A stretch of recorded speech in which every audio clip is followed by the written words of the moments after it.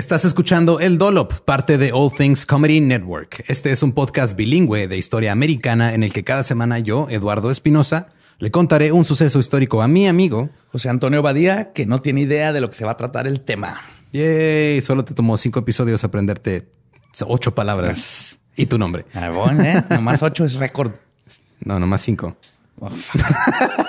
Estoy contando mi nombre. Ibas, también. ibas, ibas también. Ibas contarlo. muy, muy bien. El agua con radio funcionó bien hasta que se le cayó la mandíbula. ¿En qué ojo me pongo el parche? Malditos salvajes incultos. Pagaba 25 centavos a los niños de la localidad por cada perro o gato que le llevaran. No, espérate, ¿qué? El parque se hizo consciente. El parque probó la sangre, güey. Necesitaba- ¿De qué se va tan? Lo bueno es que nada más te trabas cuando lees, ¿verdad? Sí, sí, sí.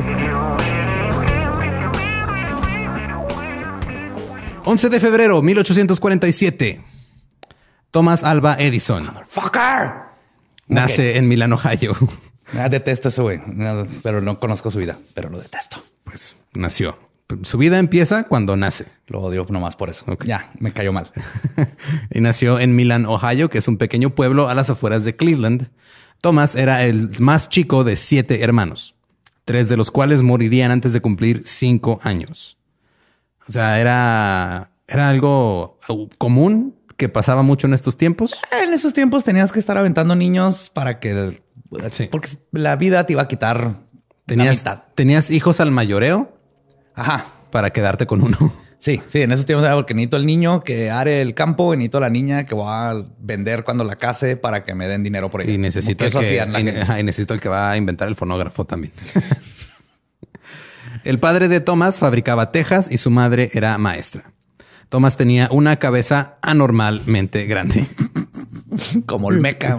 No sé si como no los olmecas, las cabezas olmecas esas de piedra. los olmecas no sabemos si la cabeza era tamaño promedio, pero las que construían no. Las que yo conozco, ajá, así me estoy imaginando a Edison. Mm, Algo así, nada más que eh, los doctores locales tenían miedo de que tuviera problemas cerebrales de lo grande que estaba su cabeza. Y por culpa de su cabezota no se le permitió ir a la escuela por algunos años. Que no cabía por la puerta. güey. No, de Las este- puertas más chiquitas en ese tiempo. y aparte no lo podían bullear y no lo podían encerrar en los lockers porque no cabía tampoco. Sí, chingada madre, Edison. A ver, abre dos lockers. No quepo. y por fin, cuando ya entró a la escuela, no le fue nada bien. Cuando Edison tenía seis años, vio a una gansa sentada sobre sus huevos y los vio empollar. La gansa estaba sentada sobre, el- lo- sobre los huevos de la gansa. O sea, la gansa puso huevos y se sentó en ellos. en, en sus huevos que ya parió. Sí, exacto. Ya o sea, no estaba la- en los huevos de Edison. No. Porque este niño, por lo que Ah, mira, diciendo, hasta, bueno, hasta es- donde, hasta donde sabemos, no, no estaba sobre los huevos de Edison escucha como un niño rarito. Hasta ahorita no lo pondría por arriba de él ponerse una gansa en los huevos. y jalar el pescuezo. A ver si les tratando de incubar sus huevitos, a ver si no salían dos Edisoncitos. Un día después de ver a esta gansa, Edison desapareció. Y después de una ansiosa búsqueda, su padre lo encontró sentado en un nido que él mismo hizo en el granero sobre varios huevos de ganso y gallina que recolectó para hacerlos empollar. Porque, eh, ¿Cómo no lo rompió? mira, no sé, Con esa cabezota de peso extra. no sé cómo le, no voy a los- le voy a dar crédito por haberse podido sentar. Cosilla ese. Yo también nada más quiero este, hacer hincapié en que esto es lo que pasa cuando le- no le das la educación básica a tus hijos. Mándenlos a la escuela. Si no importa que no quepan por la puerta, tienen que educarse. y un par de años más tarde, Edison y su amigo, que era el hijo del hombre más adinerado del pueblo, fueron a nadar a un arroyo. Justo después de que se metieron al agua, el otro niño desapareció. No sabemos si se lo, re- se lo llevó el arroyo, pero nada más estaban, o sea, estaban, se fueron a nadar juntos y de con tu mejor amigo desaparece y ya. y ya. Edison esperó media hora y cuando empezó a oscurecer se fue, solo y confundido. Los que tenían que ir a empollar sus huevos. Sorry, Germán. Este. Ahí si apareces, me marcas. Voy a empollar mis huevos. Y cuando llegó a casa no le dijo a nadie lo que había pasado. Aparte. No, O sea, porque- llegó, buenas noches, ¿para ¿cómo te fue hoy? Bien, mis huevos están bien. Sí, está ok. Y ya no se le ocurrió mencionar que. ¿Y el- Germán? Ah, se subió a. No sé, yo creo que se fue a la feria de Chicago, padre. No sé, tengo problemas de padre. Estoy empollando huevos, sí. Muchas cosas, tú no sabes lo que es. Estar empollando cinco huevos. No puedo estar al pendiente de todo. Ay, mijo. Qué cabezota. Un hombre angustiado acudió a la casa de los Edison a interrogar a Thomas, quien le explicó que lo había, o sea, lo que había pasado. Y después de esto, el arroyo fue inspeccionado y lograron recuperar el cuerpo sin vida del niño. Oh, sí se ahogó. Sí se ahogó, sí se ahogó. Entonces Edison, aparte de este cabezón, cabeza hueca. O sea, no se le ocurrió al güey decir, oigan, mi amigo no lo encuentro, estamos en el arroyo. Yo nada más llegó a su casa, no dijo nada porque tenía miedo de que lo fueran a acusar de algo. Pues sí, yo lo estoy acusando ahorita mismo del asesinato. De, De, este negligencia, jovencito, se llama negligencia. En otra ocasión, Edison prendió una fogata en el granero, pero las llamas crecieron tanto que, para sorpresa de nadie, el granero fue destruido en su totalidad. O sea, me estás diciendo que el imbécil que se puso arriba de huevos eh, ahogó a su amigo y se le ocurrió prender fuego adentro de un granero Ajá. que está lleno de grano y paja. Lo terminó inventando el fonógrafo. ¿Tú crees? No, no creo. Mira, como dicen los gringos, ¿no? Two wrongs make a right. Dos equivocaciones hacen el fonógrafo. Edison logró escapar del incendio y fue azotado públicamente en la plaza del pueblo como una advertencia para el resto de los jóvenes. Ay, güey, ese Era- es su castigo al chanclazo de, de mamá. No, no, no, No. no. Es que eran, eh, ahí sí eran otros tiempos. Era, era un pueblo pequeño y era una advertencia. Era, güey, o sea, te mamaste, quemaste un granero, vamos a azotarte públicamente. Estaría hecho que hicieran aquí, así lo pones y luego chanclazo. No, ahora nada Pero más. tu este, mamá puede. No, ahora lo que se hace es, es los cancelas en Twitter. Lo que haces Sí. en estos tiempos nada más es- esa es la plaza del pueblo, güey. Twitter es la plaza del pueblo donde vas y azotas a alguien como advertencia para los demás. Sí, hashtag Edison quemagraneros. Edison era un niño muy curioso y lleno de ideas. Una vez convenció a otro niño. Muy malas todas, aparentemente. Sí, sobre todo la que sigue. Quiero que pongas atención. Una vez convenció a otro niño que trabajaba para la familia Edison de que se tragara una cantidad grande de polvos de Seidlitz, que era como el Alka-Seltzer de la época. Ok. Porque Edison sabía que el polvo crearía gases en el estómago que inflarían al niño como globo humano y esto lo haría flotar hasta el cielo. Güey, oh, no es cierto. Ah, sí, sí es cierto. O sea, Willy Wonka. Este va- a- Sí, oye Pablo, ven, mira, tómate estos polvos, amárrate esta cuerda al, al- al pie y vamos afuera. Sí, párate justo ahí donde estaba el granero, ahí en las cenizas del granero, ahí párate. Cuidado con los huevos. Cuidado con los huevos. Todavía no empollan. Nunca, nunca apoyaron, no supimos qué pasó con los bichos. No, no pasamos, no. Probablemente se cocinaron en el incendio. ya está en su etapa Willy Wonka. Eh, obviamente la idea no funcionó y Edison fue castigado severamente por su madre. En Asumo que 1800, le fue mal a su amigo, ¿verdad? Pues este, yo creo que fuera de un Indigestión, chingo, ajá, y así. indigestión, así un chingo de gases y diarrea o no sé, este, fuera de eso creo que estaba bien. Ya en 1854 la familia Edison se mudó a Port Huron en Michigan. Aquí Edison fue a una escuela pública por un total de tres meses. O sea, en total, ¿cu- Güey, fue, o sea, ¿cuántos años tiene ya? Tiene 1854, tiene siete años. Siete años de ha ido, yo creo, Sí. ni un año de escuela. No, no, no ha ido, no, o sea, tiene muy poquito. Ha ido a la escuela de las ideas culeras de la vida, pero Y sus maestros lo, lo describían como addled, que es A-D-D-L-E-D, ajá. que se traduce, cito, incapaz de pensar con claridad, confundido o podrido. Podrido. Pues podrido, güey, es una de las definiciones de addled. O sea, estás- Creo que es la mejor forma de escribir a ese mocoso. tus ideas están putrefactas, Edison, ¿cómo ves? Después de esto, Edison fue educado en casa por su madre, que era maestra, y fue acumulando equipo químico en el sótano de la casa. ¿Quién chingado le está dando que no acaba de quemar un granero y darle eh, sales a su amigo porque le dan un equipo químico? Mira, todo el mundo comete errores, güey. O sea, el crecimiento personal es parte del desarrollo de un niño. Esto sí le da la culpa a la madre. Al- Y ahí en el sótano fue donde creó el primero de sus múltiplos, múltiplos, múltiples laboratorios caseros. Es, es mi sueño, era mi sueño de niño tener un Sí, laboratorio casero. Pero mis papás, o sea, t- Tus papás eran responsables hasta cierto punto. sí, sí, no me iban a dar a este niño. Acabamos de ver que, el, que va a hacer con su laboratorio. Ahora le va a dar un chicle a un ganso para que le salgan cuernos y luego te lo va. No sé qué va a hacer. No sé qué va a hacer este cabrón. Pues mira, empezó a experimentar en su laboratorio cuando tenía más o menos 10 años. Basó sus primeros experimentos en un libro de física que se llamaba School of Natural Philosophy de Richard Parker. Y a causa de estos experimentos obtuvo una familiaridad con la naturaleza de las baterías eléctricas y la producción de corriente. Ok.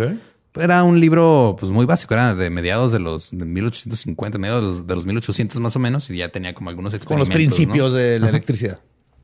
A los 12 años, Edison consiguió trabajo vendiendo periódicos en los trenes de Grand Trunk Railroad, que era una línea de trenes que estaba entre Port Huron y Detroit, Michigan. Y es una banda bien chingona de música. Suena bien chido. Grand Trunk Railroad. No, no, no, no era que- Grand Funk Railroad. Sí. Ya. A bordo del tren, Edison tuvo la oportunidad de seguir con su pasatiempo favorito, hacer laboratorios. Platicó arriba del tren. Arriba del tren. Había un vagón. El vagón de equipaje estaba dividido en tres compartimentos. Había uno para baúles y paquetes, uno para el correo y uno para fumar. Pero como no había ventilación en el que era para fumar, no lo estaban usando. Entonces, qué mejor manera de hacer un laboratorio que en un tren, En un- en un lugar que no tiene ventilación. En una chingadera sin ventilación. ¡En movimiento! sí, ahí es donde quieres cosas explosivas y que dan toques y de... No, hombre, este cabrón salió, pero... Oiga, señor conductor del tren, ¿ya ves esa, esa caja que no estamos usando? Ajá, sí. Eh, ¿Qué onda ajá, este, mijo? Quiero poner como cosas de vidrio y, y cosas flamables ahí. Este, Está bien, no pasa nada. No hombre, estas cosas no se caen. Tú ponlo. Ok, muchas gracias, señor conductor. Ten- ahí tenemos unos huevos y los quieres encubar de una vez. Y pues bueno, eh, a Edison le prestaron esta parte del tren para que hiciera lo que quisiera. Tenía bastante tiempo libre y logró este, replicar su laboratorio del sótano en el tren. Un día, el tren se movió bruscamente. no, hombre, digas un tren, ¿cómo? Sí, pues porque era un tren. Una vara de fósforo cayó al piso y se prendió en llamas. Luego el vagón se prendió en llamas. porque no había ventilación en el tren. El conductor llegó deprisa con agua, apagó el fuego, pero estaba molesto. No, pues. Oye, al- al- a Edison le tuvieron que haber puesto esos, esos guantes para nieve que te quitan los cuatro dedos y los Ajá. pulgares y que nomás hiciera eso y ya. Y, y ponerlo a incubar huevos. No sé cómo llegó al grado de meter fósforo a un tren. Y pues obviamente lo que pasa cuando un conductor de tren se enoja es que en la siguiente parada te echa del tren con todas tus cosas, no sin antes eh, ponerte unos chingazos en las orejas y dejarte medio sordo. Eso fue lo que hizo el conductor. Lo echó del tren, le puso unos chingazos en las orejas así tan fuerte que lo dejaron parcialmente sordo. No culpo al conductor, la neta. Lo cual este, es, es irónico porque pues cuando alguien le decía, oye, no hagas eso, esas ideas son malas, pues no los escuchaba. Mientras trabajaba en los trenes, se mostró interesado en la electricidad debido a sus visitas a las oficinas del telégrafo. De hecho, construyó una línea de telégrafo entre su casa y la casa de un amigo suyo. Agarró hacia alambre normal y como sabía un poco sobre electricidad estática, se puso a experimentar. Entonces lo que hizo fue que ató dos gatos de la cola al alambre.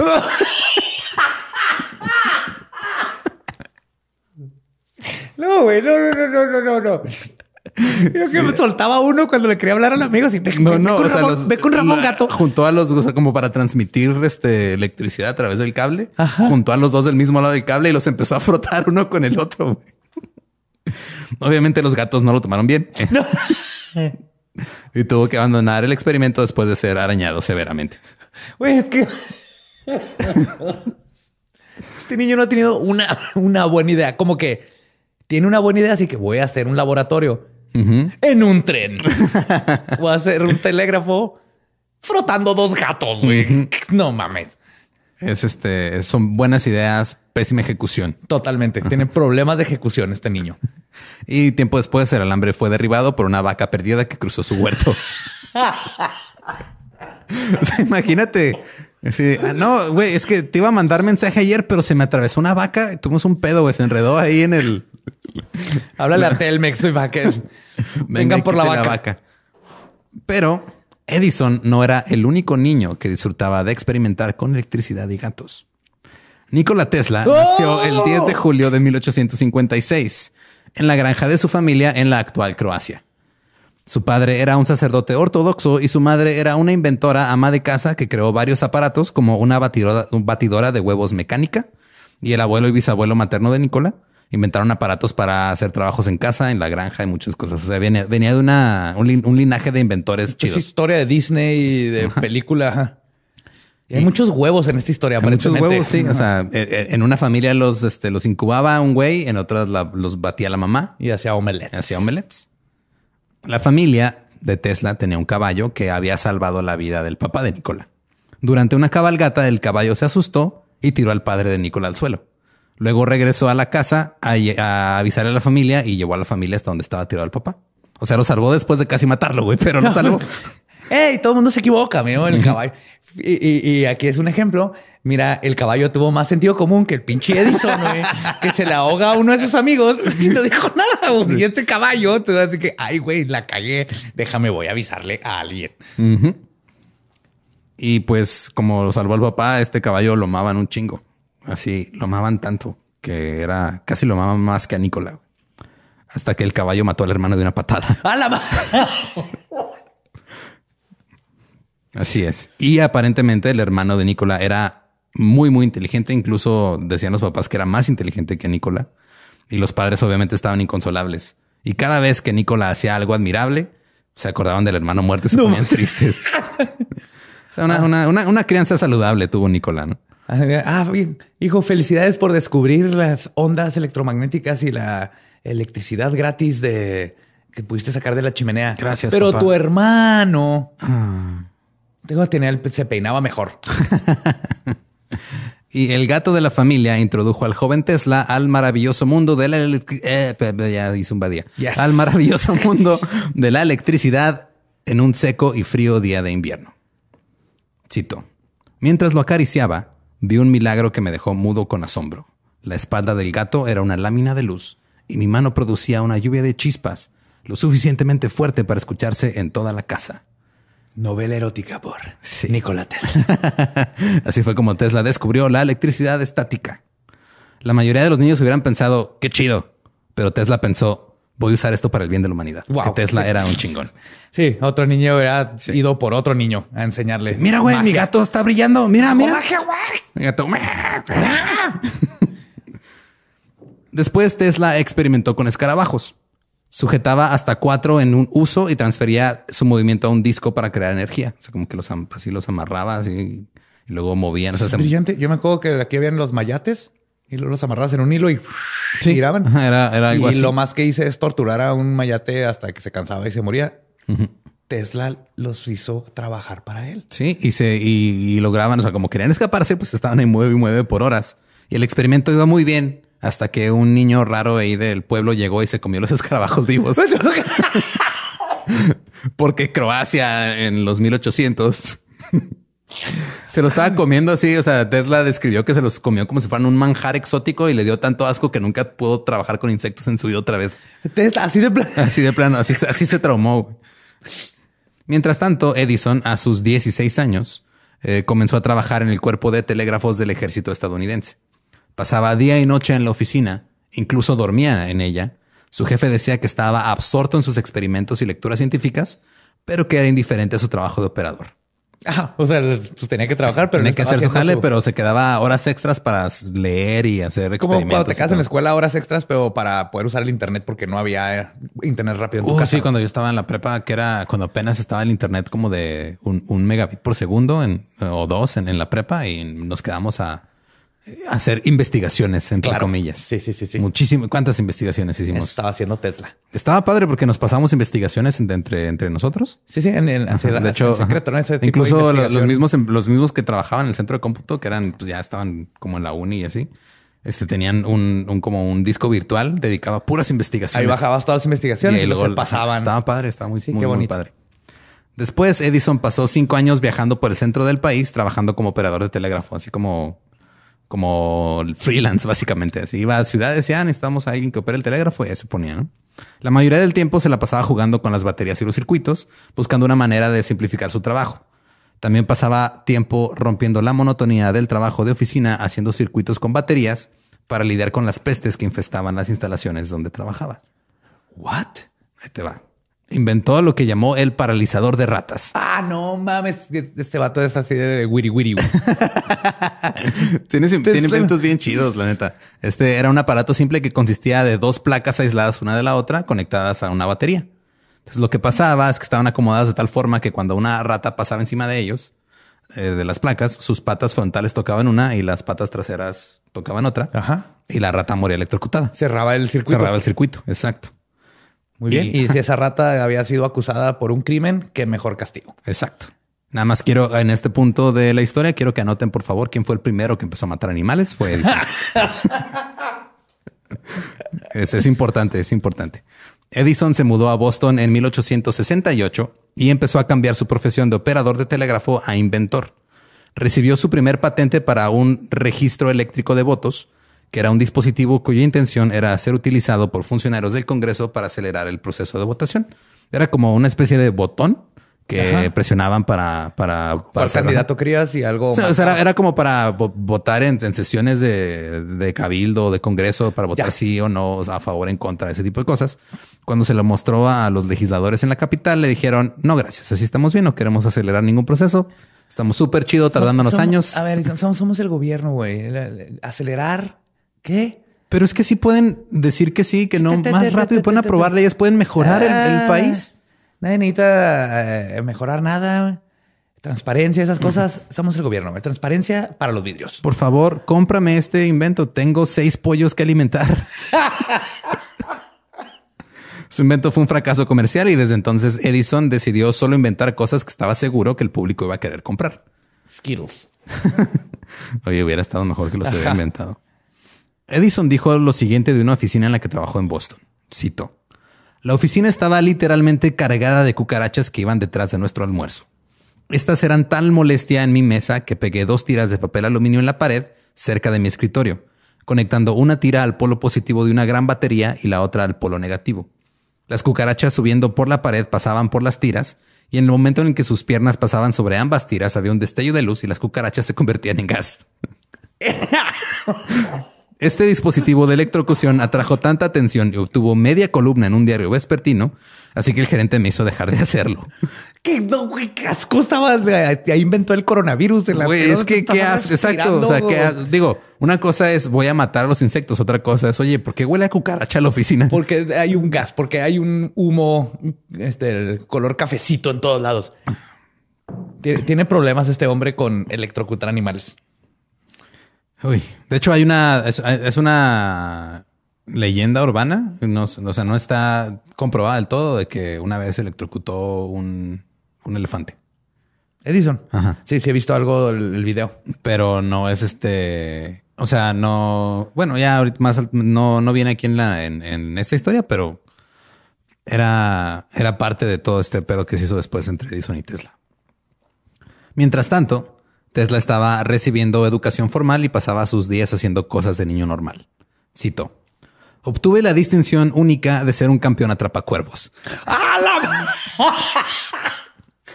Creí que no podía amar más a este hombre. Campeón. Había alguien que te un premio por atrapar cuervos. Mira, es lo que dijo Tesla. Dice, dice, me iba al bosque, me escondía entre los arbustos e imitaba el llamado del ave. En poco tiempo un cuervo bajaría los arbustos cerca de mí.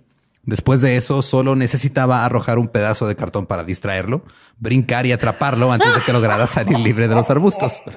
De esta forma capturaba a todos los que yo quisiera. Pero en una ocasión, cuando salimos del bosque, miles de cuervos se aglomeraron haciendo un ruido aterrador. En pocos minutos comenzaron a perseguirnos y nos rodearon. La diversión duró. La diversión duró hasta que recibí un golpe en la cabeza que me hizo caer.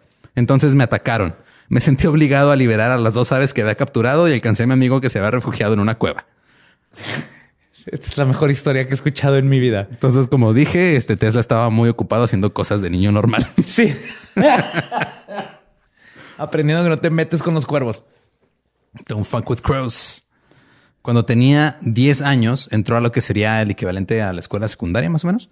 Ahí se obsesionó con los experimentos de los instructores y con las matemáticas. Le encantaba hacer matemáticas en el pizarrón y en su cabeza. Tesla en ese tiempo, cuando estaba en la escuela, vivía con sus tíos.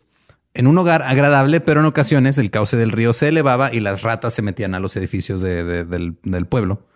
Tesla se encargaba de deshacerse de las ratas y se ganó el título de atrapa ratas. Atrapaba cuervos y atrapaba ratas. Luego que no atrapó tuberculosis o rabia o algo así, porque no atrapó este tuberculosis, pero sí le dio cólera. También estaba fascinado con una descripción que leyó. No dice, y las ratas también era así como les ponía música de jazz. No dice Y cómo. Las distraía con un manuscrito de Duchamp. Les tocaba la flauta y luego las mataba a palazos. No, no dice. Estaba fascinado con una descripción de las cataratas del Niágara y una vez le dijo a su tío que iría a América poner una enorme rueda al pie de las cataratas para generar energía. ¿A esa edad? A esa edad güey, ya estaba traumado. Eh, Tesla quería ser ingeniero, pero su padre que fuera, quería que fuera sacerdote. A los 17, Tesla contrajo cólera Por andar agarrando... por andar agarrando y cuervos y ratas y todo. Y cuando contrajo cólera hizo un acuerdo con su padre. Si sobrevivía, lo dejaría entrar a la renombrada Escuela Politécnica de Austria a estudiar ingeniería. Como que esos tiempos de... Papá, ¿Qué si pasa, no me hijo? muero, me dejas hacer lo que quiero ser de grande. Sí, pero si te mueres vas a ser sacerdote. Te voy a ordenar aunque estés muerto. Ya en la escuela pasaría todo el tiempo estudiando, desde las 3 de la mañana hasta las 11 de la noche, siete días a la semana y sin tomar días de asueto. Obtuvo las calificaciones más altas, pero nada de esto impresionó a su padre. Cuando su padre murió, Tesla descubrió que sus profesores le habían escrito cartas diciéndole que su hijo se iba a matar estudiando. Oh, O sea, ya, sí, o sea, los, los maestros estaban preocupados por Tesla. Aquí creo que se nota mucho el, la diferencia entre Edison y Tesla. Tesla era un güey que estaba súper traumado con las matemáticas y era súper estudioso. Y lo Edison, todo lo que inventó fue a prueba, de- era muy, era muy ingenioso, pero todo era a base de prueba y error. Sí, no, no, no tenía como una visión No. como Ajá. Tesla. Era más así de Que de "Voy a hecho, poner esto aquí, esto aquí, a ver qué pasa. Sí, de hecho, ajá, es así. ah, si pongo esta placa aquí, esta placa aquí, pasa la rata, se electrocuta, pero eso le tomó tiempo en, en descubrirlo. Mientras Tesla ya estaba pensando en las cascadas de Niágara y poner una ruedita ahí. Y, y bueno, pero Edison iba a ser el Willy Wonka. ¿eh? Exacto. No se nos olvide que iba a ser flotar a un primer ser humano. Sí, y, y parte de lo que se dio cuenta Tesla fue también a esta edad, este, fue cuando empezó a pensar seriamente en, en- en inventos, porque descubrió que podía él visualizar algo en su cabeza y construirlo. O sea, se dio cuenta que si tenía como visiones así de, de aparatos ya prácticamente completos. Había leído algo así que no tiene muchos planos, ¿no? Porque todo lo hacía en su cabeza. Sí, y, y lo que hacía era de que, o sea, se le ocurría algo, lo construía y todo funcionaba. Todo lo que construía funcionaba. Una, un día hay una, eh, una anécdota de que un día iba caminando en el parque con un amigo suyo, de repente se le vino una idea, agarró una rama y dibujó en la arena un diagrama. güey. Y era el diagrama del motor de corriente alterna. ¡Qué. Nada más. Nada más. Nada más. Sí, o sea, si tú y yo vamos caminando por el parque y se me ocurre una idea, de repente te digo, güey, hay que ir por nieve. O sea, es un corazoncito. Joe y Lolo. Eso es a lo más que llegaría. Ajá, pero no te voy a decir, güey, creo que acabo de inventar algo que va a cambiar el mundo. Acabo de inventar Twitter. Tesla consiguió un trabajo en la empresa telefónica de Hungría. Hizo tantas mejoras que, a su, que su jefe le consiguió un puesto en París. Ahí en París trabajó con Charles Batchelor, que era am- amigo cercano de Thomas Edison y de otras personas. Tesla le habló a Batchelor y a los demás sobre el motor de corriente alterna. Entonces un americano ofreció formar una sociedad de capital. Tesla no sabía qué chingados era eso, pero pasó los siguientes meses trabajando en plantas de energía que eran usadas para iluminación y estaban basadas en las patentes de Edison. O sea, ya como Edison que- ya había hecho entonces sí, ya, algo no- ya- cosas no tan estúpidas. exacto. Eh, Sí, Edison ya estaba haciendo su carrera, ya este pues, te- tenía plantas diseñadas para abastecer de luz y todo esto. Tenía ya ga- gansos tataranietos. Sí, ya este, los, los, los gancitos ya andaban ahí. Edison, mm, por su parte, estaba con sus inventos en Boston. Inventó un teletipo nuevo para la bolsa de valores y se mudó a Nueva York. El teletipo, pues es en donde van como saliendo las. Sí, lo- los números. Sí, es el ticker. Ajá, es el. Que van los números así como Sí, cayendo. im- plac, ajá. plac, plac, plac. Eh, le pagaron 40 mil dólares y con ese dinero estableció un laboratorio en Newark, Nueva Jersey, en 1871. Que este, no sé si se acuerdan, pero las chicas del radio también el laboratorio y las plantas que estaban estaban ahí en, en Newark. En. Y también este, o sea, uno de los que trabajaba con Edison fue el güey que le metía radio a todo cuando los Curie se lo dieron. A los 24 años, Edison se enamoró de un adolescente de 16 que trabajaba en su compañía. Niña. Pues es, es un adolescente que no es mayor de edad. Sí, sí, sí. No, La definición que- de niña creo que se acaba a los 13, ¿no? Que ya es, es adolescente. Sí, sí, sí. Digo, técnicamente, pero Sigue estando este, raro. sigue estando menor de edad. Sigue estando menor Ah, de edad. de exacto, ajá. sí. Pero mira, eran otros tiempos. o sea, esta era, era una mujer de 16 años que ya tenía trabajo. Eran tiempos donde todavía podías ir y, ganarte un premio por atrapar cuervos. Mundial. Sí. Edison se casó con ella, pero a la vez estaba decepcionado. Porque, cito, mi esposa amada no puede inventar nada que importe un carajo. ¿Qué quieres? Estás con una niña de 16 años. ¿Qué va a hacer? ¿Qué va a inventar? El diario, drama, hormonas. De 1876 a 1886, Edison vivía y hacía su trabajo en Menlo Park, un terreno que compró que se ubicaba a 25 millas al sur de Newark. Ahí construyó su casa, un laboratorio, un invernadero, un taller de carpintería, un cobertizo de carbono y un taller de forja. Todo eso adentro de un tren inestable. Todo en un barco, en un río. Todo eso este, eh, equilibrado sobre la punta de una pirámide. Con un ganso que, cuidaba la puerta. Su invento más grande en ese momento fue el fonógrafo en 1877 y eso lo convirtió en una celebridad internacional. Era conocido como el mago de Menlo Park. En 1884 su esposa murió. Se sospecha que fue de una sobredosis. ¿De qué? Nada más no hay mucha información al respecto. Lo que se sabe es que Edison intentó revivirla con una descarga eléctrica. Digo, una no sobredosis de tocar dos plaquitas y una, sobredosis de 200 volts. Una sobredosis de paralizadores de ratas. Edison se mudó a Nueva York y un año después se casó con Mina Miller, de 21 años. Él ya tenía 38. En 1890 le escribió, cito, Tú y los niños y el laboratorio son las cosas más importantes de mi vida. Un poeta. deja, tú, qué bueno que dejó el laboratorio al último. estoy seguro que este el laboratorio, los niños y tú son los más importantes en mi vida. Mira, Edison era, era inventor, no poeta. Todo bien. De hecho, tenía un hijo que era Thomas Alba Jr. y Edison esperaba que su hijo siguiera sus pasos. La Edison Jr. Steel and Iron Process Company, o compañía procesadora de acero y hierro Edison Jr., fue conformada y Thomas Jr. se volvió el accionista principal con tan solo 20 años de edad. Oh. El problema aquí es que no la hizo Edison, o sea, un grupo de inversionistas la hicieron y pusieron al hijo de Edison a la cabeza. Este, de hecho, Edison de Monterrey o algo así. no sé, o sea, el pedo es de que, eh, de hecho, tuvo muchos problemas Edison con esto. O sea, Edison estaba enojado porque estaban explotando su nombre. Le ordenó a su hijo que cesara porque pensaba que su hijo estaba pendejo y se están aprovechando de él, básicamente. A pesar de que lo incubó por seis meses. Yo te empollé, ¿cómo te atreves? Aquí tenemos a Edison Jr. y este, y pues sí, o sea, de hecho hubo, demandó a varias compañías Edison porque le ponían de nombre a la compañía Edison. Porque ya era para este sinónimo de inventos, cosas. De hecho, tiempo después eh, surgió la Edison Chemical Company o la compañía química Edison eh, que o sea, ya había sido demandada por, por Thomas Edison padre por usar su apellido. Entonces lo que hicieron fue reclutar a Thomas Jr. para que trabajara con ellos y lo hicieron vicepresidente. Y le cambiaron el nombre a Thomas A. Edison Jr. Chemical Company. y, lo que hizo Jr. fue que empezó a agregar sus inventos a la, oferta que ya tenía de productos esta compañía. O sea, todo un emprendedor el niño este. Sí, pero eran productos medio, medio raros como por ejemplo el Magno Electric Vitalizer o vitalizador magnoeléctrico. Te digo que Wiri Wiri anda aquí en hardcore ¿eh? en este episodio. Y era, era vendido como una cura para la parálisis, el reumatismo y otras, entre comillas, quejas incurables. También vendían algo que se llamaba Wizards Ink Tablets, que eran tabletas de tinta que metías en agua y creabas tinta. Y ya era, era lo que vendía la compañía química tabletas en agua que creaba tinta. Sí. O sea, eran unas tabletas que pintaban el agua y ya con eso escribías. Ah, bueno, pues que eran tiempos no había el, la Bic. El bolígrafo. Exacto.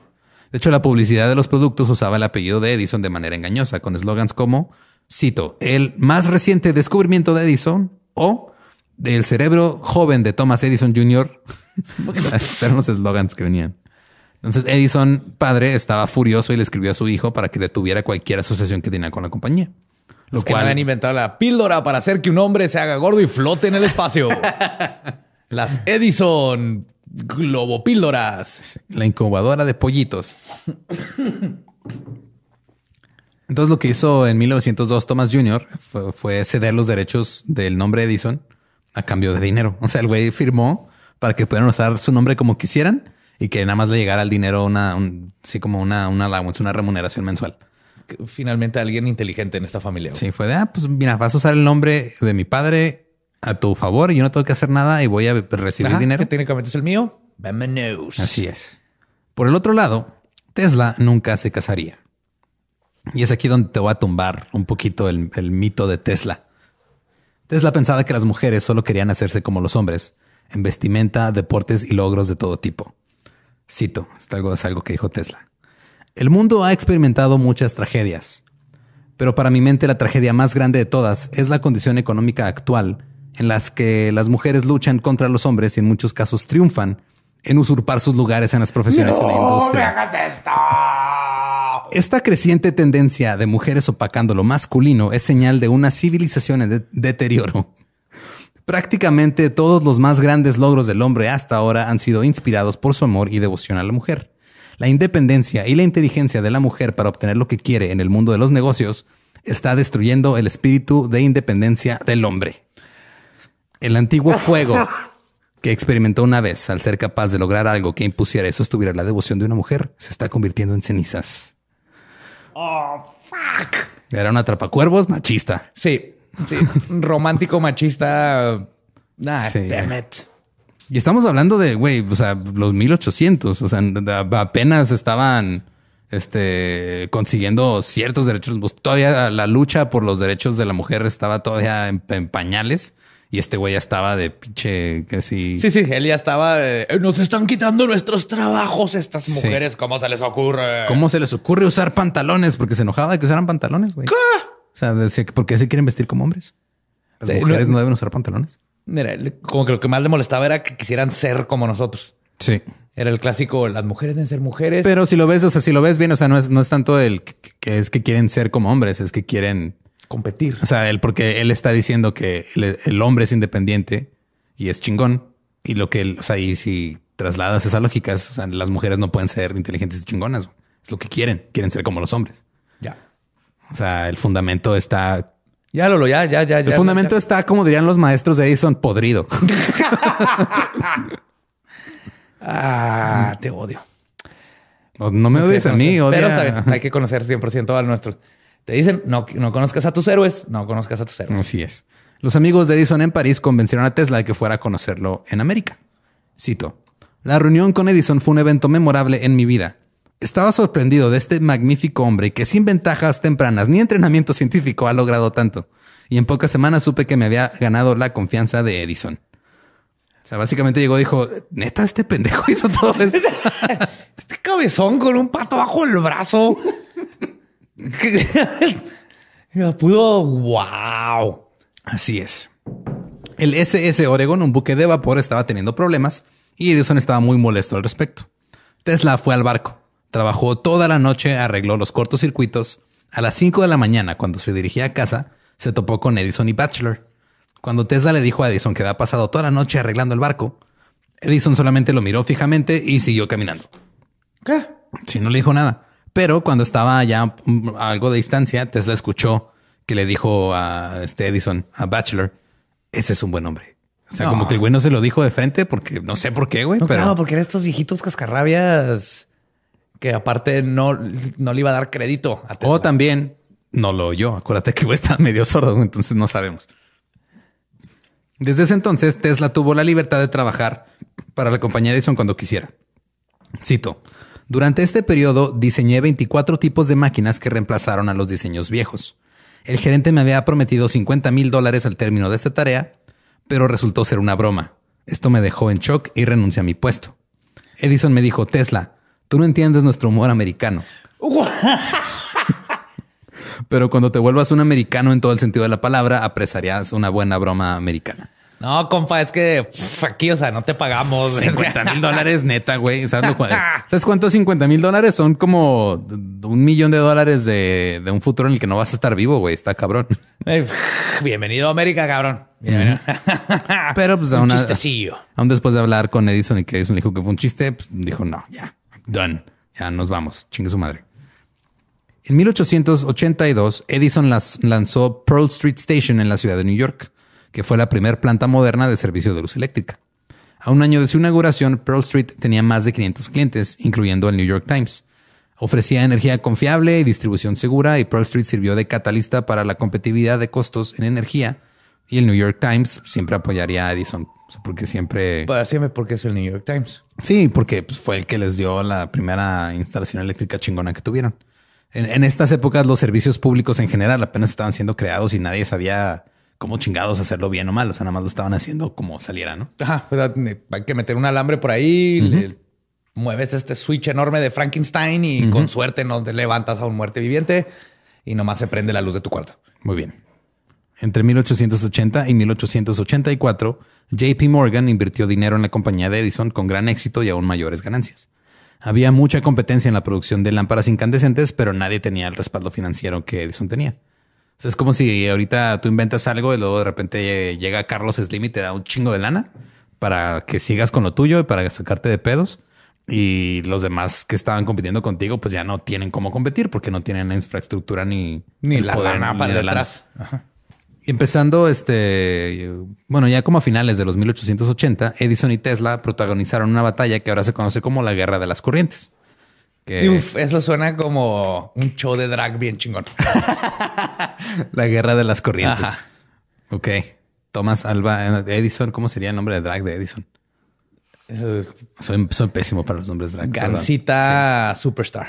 Gancita Superstar. No, es que haces como. Es un juego de palabras con el mismo nombre, ¿no? Es como Nicola Tesla, sientas en esta o algo así. Tesla, sientas. Tomás Alba Edison, chichis de silicón, no sé. Tomás esta, sería más Algo así, no sé. No, sé cómo funcionan los nombres de drag, nada más sé que no tengo esa creatividad en mí. Y lo que pasó fue que estaba la corriente directa y la corriente alterna. Entonces Edison desarrolló la corriente directa, que era un tipo de corriente que fluye continuamente en una sola dirección. Por eso se llama corriente directa. Y durante los primeros años de la electricidad era el estándar en Estados Unidos. Porque era la única. Y el problema es de que no se puede convertir fácilmente a altos voltajes o bajos voltajes. Y este, y Tesla creía que la corriente alterna, la AC, era la solución a este problema, porque la corriente alterna funciona de manera diferente, como que va cambiando de dirección. Por eso se llama alternating, va alternando cada cierto tiempo. Tiene en el estándar en, creo que en América es, 60 Hertz, es la frecuencia de, la corriente alterna.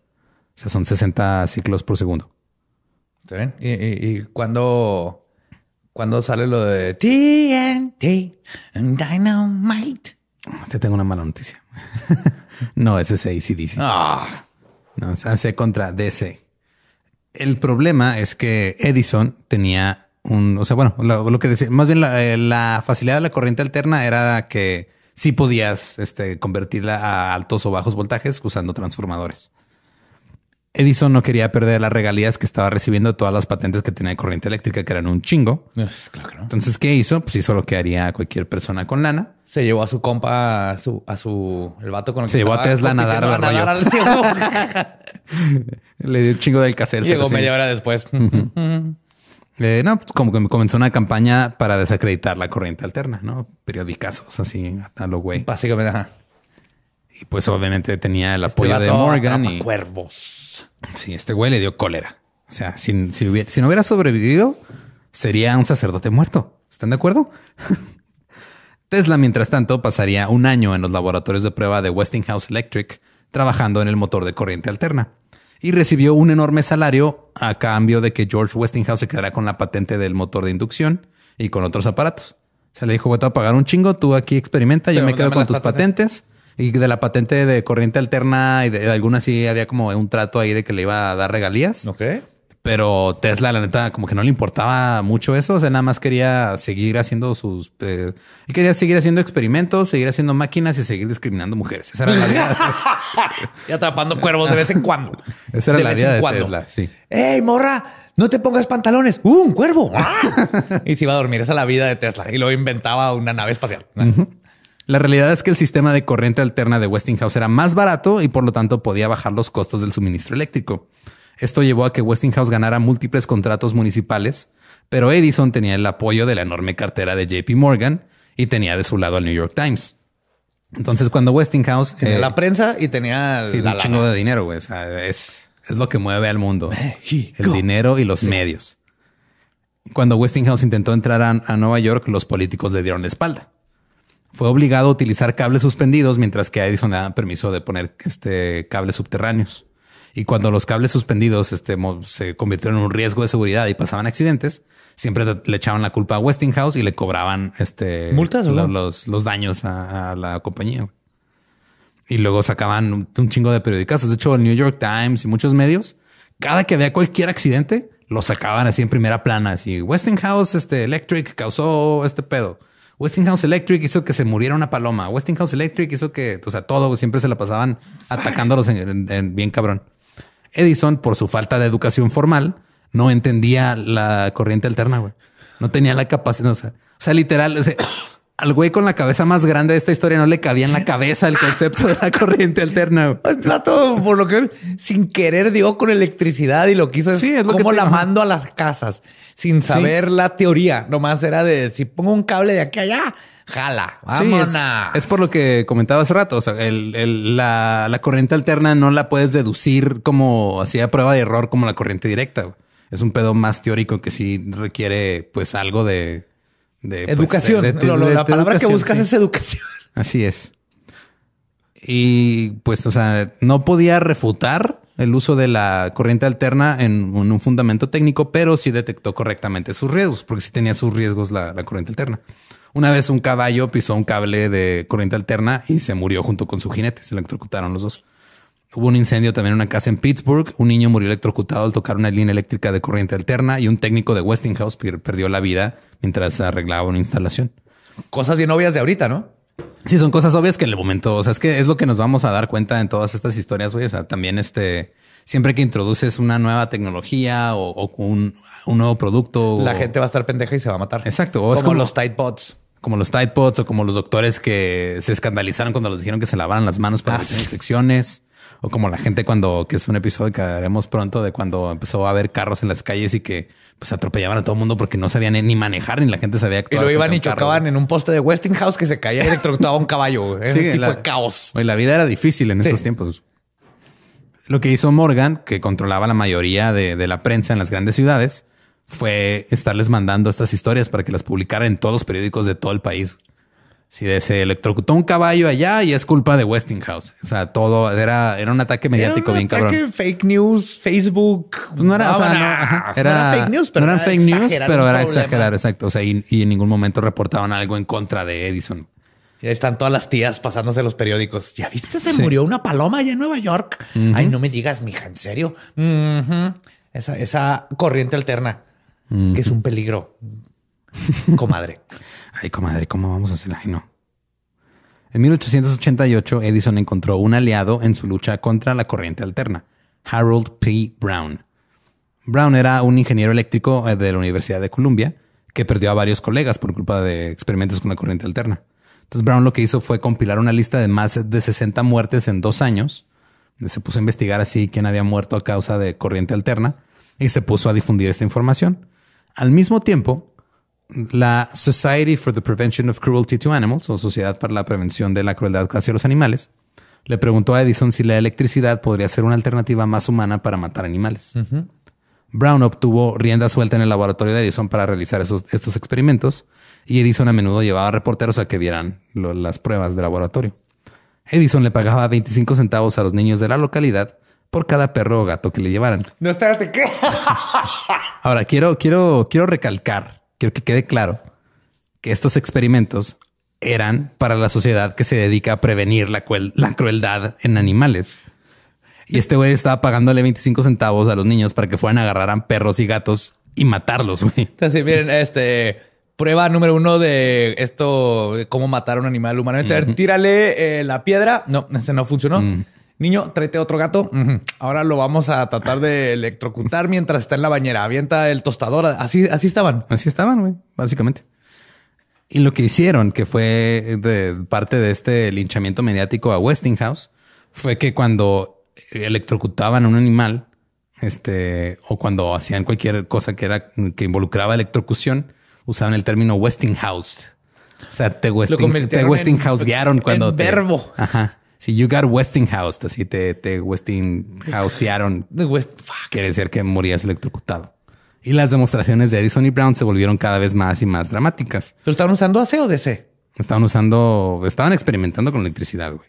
Hasta ahí nada más. pero al mundo le decían Westinghouse. Sí, o sea, ellos decían, miren, esto es lo que hace la corriente de Westinghouse, es la que estamos usando. Mira, mató a ese perro, mató a ese gato. Y luego después este, hicieron una prueba frente a la prensa con un caballo y una vaca. No.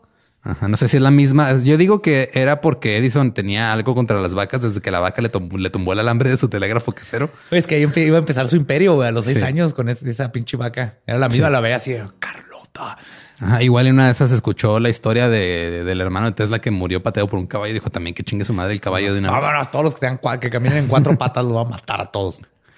Eh, Brown publicó en el New York Times un reto a Westinghouse que consistía en un duelo donde pasarían ambos tipos de corriente a través de sus cuerpos. O sea, básicamente el güey lo retó a la máquina de toques más grande de la historia. toques, toques. Y a Brown se le ocurrió la idea de usar la eh, corriente alterna para ejecutar criminales. Y Edison dijo, a huevo, qué, qué buena idea. Cuando el Estado de Nueva York sentenció al asesino William Kemmler a muerte, decidieron que sería el primero en morir en la silla eléctrica.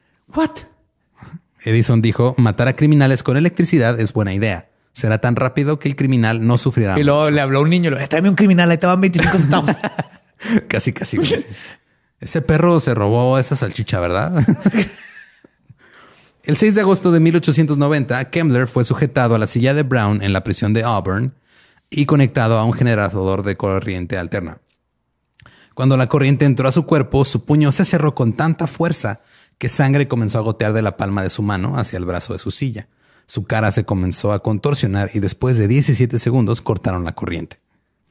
Arthur Southwick, que se le considera el padre de la silla eléctrica, era un dentista al que se le ocurrió la idea mientras trabajaba en un comité de estado.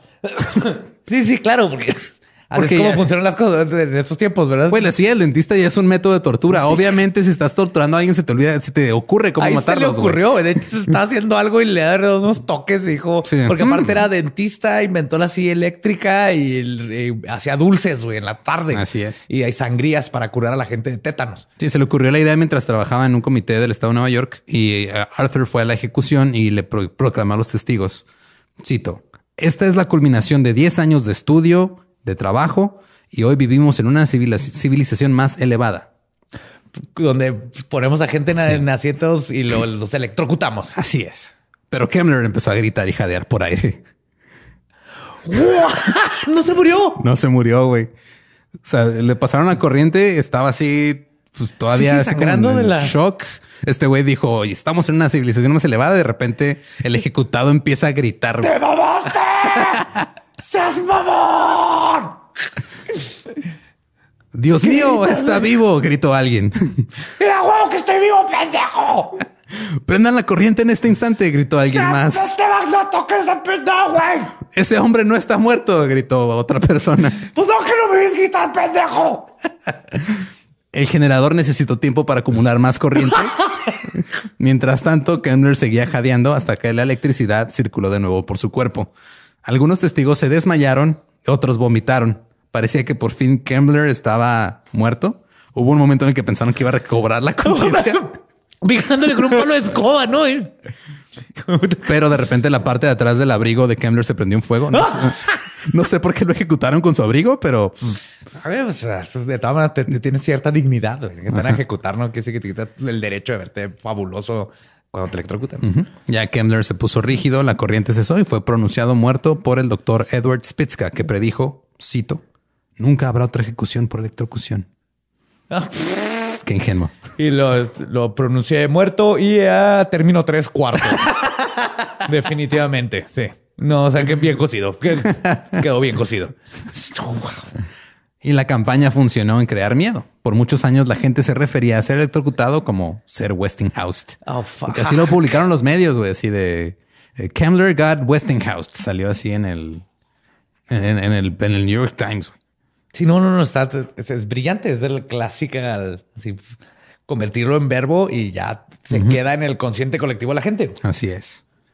Eh, Morgan y sus socios controlaban a Edison en este punto y necesitaban que, estuviera como más involucrado en la pelea contra Westinghouse, pero Edison ya como que nomás estaba tratando de inventar más cosas. Entonces fue cuando Morgan se dio cuenta que tenía que tomar el control de las compañías de Edison. Y este, porque estaban, básicamente dijo, ok, güey, tenemos que ganar este pedo. Tú de repente te distraes queriendo inventar este, un empollador de huevos de ganso que sigo sin entender por qué estás tan obsesionado con eso, Edison. Pero mira, necesitamos hacer dinero. Ey, ey, ey, ey. ¿Sabes lo bonito que se siente cuando se rompen los huevitos y sientes la cabecita del ganso picarte el culo y sabes que acabas de dar a luz y que esa paciencia estar sentida, sentado arriba de los huevos, al fin ves a tus siete gancitos ahí salir. ¿Tienes idea de lo que se siente eso? ¿Tú tienes idea de cuánto dinero nos estamos gastando en demandas por pendejadas que has hecho? en 1890 la compañía de Edison se fusionó con otra compañía llamada Thomson Houston y así nació General Electric. Oh, what? Así es. El General Electric. El General Electric, el GE. GE, ajá. Yo, creo que la mayoría de la gente en los 80s, 90s tenía refri GE. Sí.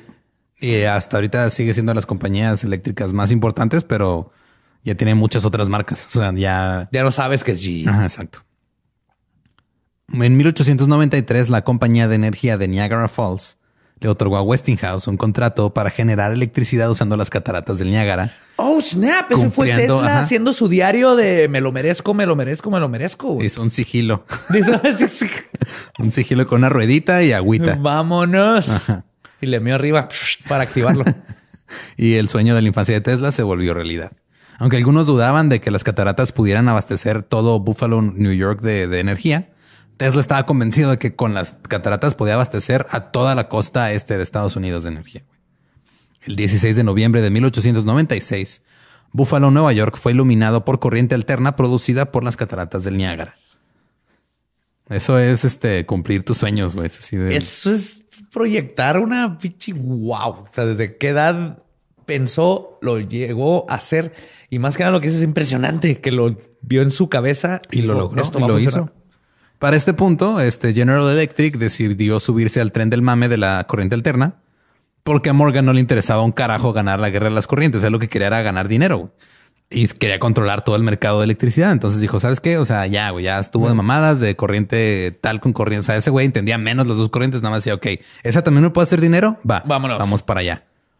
Tras bambalinas, coordinó otra campaña mediática, esta vez hablando sobre los malos manejos administrativos de Westinghouse, con la intención de que bajaran sus acciones para obligarlos a que le vendieran las patentes de Tesla. Oh, fuck, what?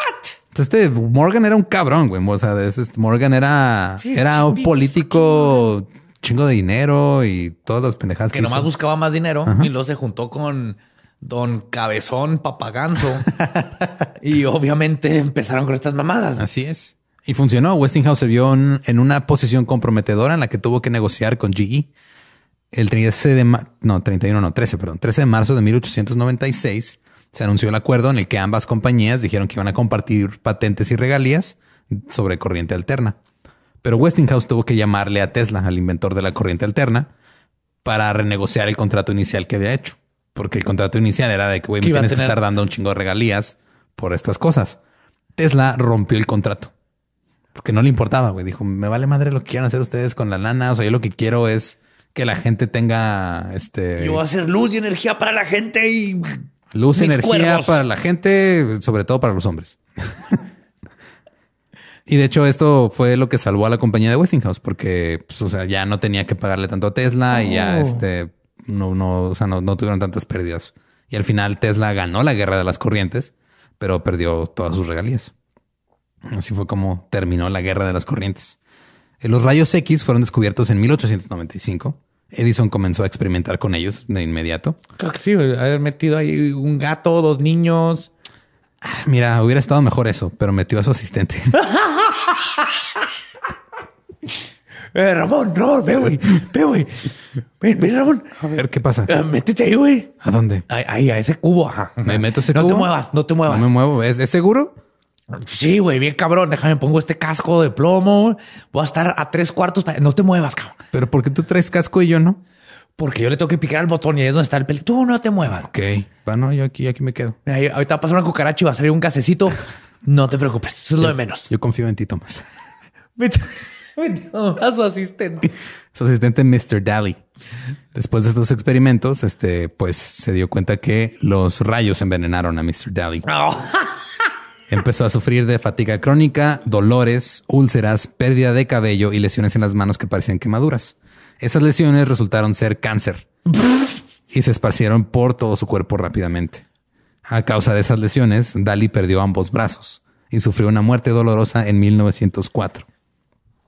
Edison quedó tan perturbado y, por, y encontró la, la, máquina de cómo ejecutar a Dalis. ya, tenía, ya sé cómo matar ratas, cucarachas y Dalis. Dalis. Pero no, la neta, Edison esto sí lo afectó bien, cabrón. De hecho, ya no quiso saber nada de rayos X ni experimentar, experimentar ¿Ah, con nada porque sí. Sí, porque pues, sí era su asistente de toda la vida. Y en 1898 Tesla hizo una demostración del primer bote funcionando a control remoto. Es un barquito que anda, un barco a control remoto. ¿Control remoto? Estamos hablando de 1898, güey. Hace 122 años. De... Yo creí que eso se los inventó en los 80. No, 1800, o sea, se inventó en los 90 del 1800. Holy fuck. Todo esto fue en, uh, en, la Garden Electrical Exhibition, que era una exhibición que hacían en el Madison Square Garden. El año siguiente, Tesla se mudó a Colorado Springs para construir una torre de alto voltaje y alta frecuencia para el gobierno estadounidense. El objetivo era desarrollar la transmisión inalámbrica de energía usando las ondas de vibración de la Tierra para generar energía eléctrica limitada. En esta torre, Tesla logró encender 200 lámparas sin cables a una distancia de 25 millas. ¿Mi what?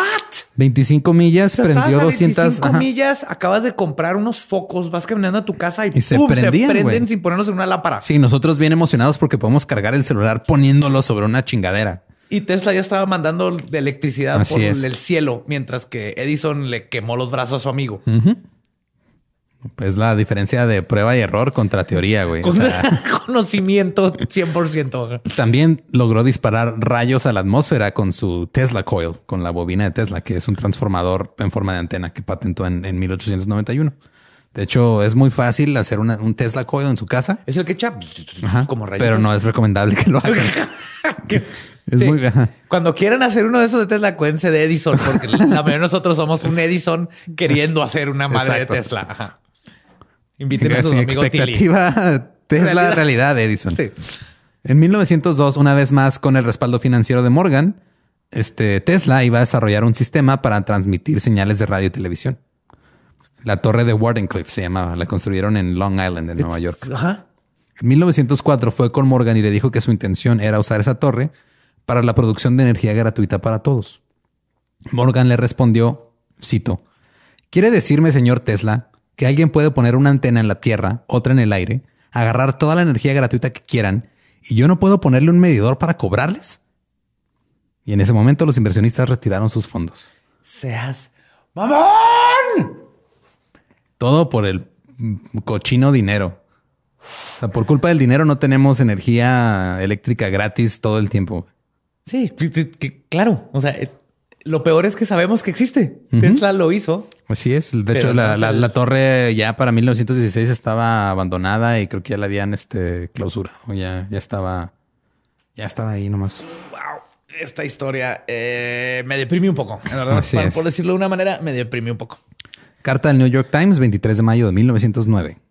Estimado editor, de toda la evidencia de la mente estrecha y la locura, no conozco alguna mayor que la creencia estúpida de que este pequeño planeta ha sido escogido como el único que alberga vida y que todos los demás cuerpos celestes son masas en fuego o bultos de hielo. Ciertamente, algunos planetas no están habitados, pero otros sí, y entre estos debe existir vida bajo todas las condiciones y fases de desarrollo. La fuerza gravitacional de Marte es apenas dos tercios de la que existe en la Tierra. Por lo tanto, todos los problemas mecánicos deben ser más fáciles de solucionar y hay muchas otras razones por las cuales debería haber vida inteligente en ese planeta. Para estar seguros, no tenemos pruebas absolutas de que Marte está habitado, pero hay un método de ponernos en contacto con otros planetas. Aunque no es fácil en su ejecución, es sencillo en principios. El aparato es mi transmisor eléctrico. Firmado, Nikola Tesla, un hombre loco. Les mandó eso, what the fuck? Eh, les mandó eso así de la nada, güey. O sea, ya él, él ya estaba de hay vida en otros planetas. Hay vida en otros- yo ajá, y yo puedo cómo comunicarme con ellos. Es que hay que recordar que Te- Tesla era, era súper solitario, güey. Se la pasaba en su vida así solo en su, en su torre. De vez en cuando salía a darle de comer a las palomas y luego se metió otra vez a su torre a hacer chingaderas. Y, y o sea, así este Eres esos tipos que lo que creas, tú dame para necesito comer de vez en cuando y el resto del tiempo va a estar inventando cosas para salvar a la humanidad. Así es, o sea, sí estaba, era, era, era una mente brillante, torturada y súper machista, pero bueno. Del número de diciembre de 1912 de Popular Electricity Magazine. Nikola Tesla cree que ha encontrado una forma eléctrica de aligerar el peso de la vida escolar y las dificultades de adquirir educación. Hace unos meses, Tesla presentó un plan ante William H. Maxwell, el superintendente de escuelas de Nueva York. Un plan para hacer brillantes a todos los alumnos, saturándolos de electricidad inconscientemente. ¿Qué? El señor Maxwell, un hombre práctico y progresista, concluyó que el experimento no tiene manera de dañar a los alumnos y ha decidido aprobar un periodo de prueba de seis meses. Sea, básicamente lo que querían era este, agarrar a los estudiantes que no eran considerados brillantes, entre comillas, Darles algo de. darles como terapia Darles sus eléctrica, darles sus toques, pero eléctricos. vitaminas. O sea, este güey les quería abrir el tercer ojo, pero con, con electricidad. Con electricidad. Ajá. Eh, eh, de hecho, eh, se anunció que el experimento será conducido en niños con defectos mentales, porque son los más difíciles de manejar y son la pesadilla de todos los maestros. Sí, más en esos tiempos donde no, te, pues, no, tenía- qué hacer. Exacto. Y este plan para estimular los cerebros de los alumnos está basado en la teoría de estimulación del crecimiento de plantas con electricidad, una teoría que ya ha sido comprobada. What? O sea, este creció plantas y ahora iba a arreglar el cerebro, tenía electricidad gratis para todo el mundo. Si este experimento Y en sí no. de control remoto. El, el experimento este en sí, este, no, no encontré más información si, si se llevó bien a cabo y qué resultados su- este, obtuvo. O sea, si hubiera pasado algo malo, creo que estaríamos enterados. Ma- Más que nada porque si, creo que si hubiera Tesla- pasado algo bueno, también nos hubiéramos enterado, Sí, creo yo. pero pues, Tesla lleva 10 de 10. güey. Cosa que dice, la hace y funciona. Así es. Thomas Alva Edison murió de complicaciones a causa de diabetes el 18 de octubre de 1931. Huevo, diabetes en la cabezota. Se le traes pura azúcar. El presidente Herbert Hoover pidió a todo el país que atenuara las luces en su honor.